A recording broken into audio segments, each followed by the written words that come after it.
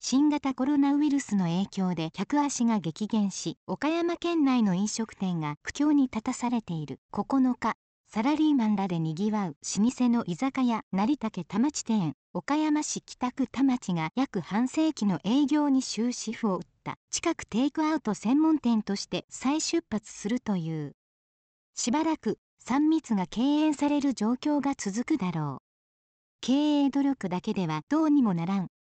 9日居酒屋として最後の夜を迎えた成竹田町店岡山市北区田町店主の山田38オットさん67は淡々と話した。地物の新鮮な魚介類や野菜にこだわり良質な料理を安く提供してきた同店。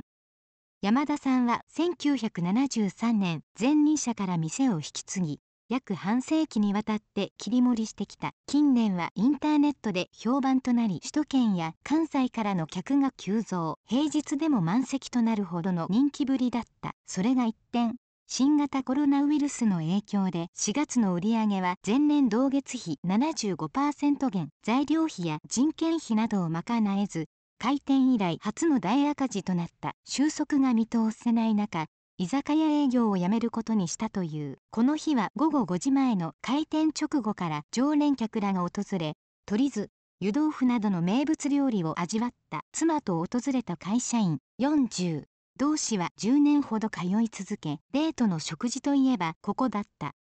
寂しくなりますと惜しんだ。11日からはテイクアウト専門店として午前11時半から午後7時に営業。引き続き一品料理を提供する岡山市中心部の繁華街では新型コロナの逆風に耐えきれず廃業を決めた店も出始めている。20日に店を閉じる。創業21年の老舗寿司茶屋。銀八。同岩田町経営する梶神話と鹿津さん。60はリーマンショックをはじめ数々の苦境を乗り越えてきたが今回は到底資金が回らないと語る歓送迎会などで書き入れ時となるはずの3、4月は宴会予約がほぼ全てキャンセルに。食材、人件費として月に200万円が必要な一方、売上は3月が約140万円、4月は約90万円にまで落ち込み、返済できる見込みのない借金を抱える前に、と、やむなく廃業を決めたという。生きがいとしてやってきた店。閉めなければならないのは本当につらいというのは西川緑道公園沿いで聞くせい。